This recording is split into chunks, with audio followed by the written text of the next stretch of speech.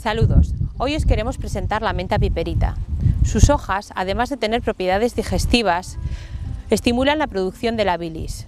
Nos ayudará mucho en momentos de agotamiento nervioso y jaquecas de origen también nervioso.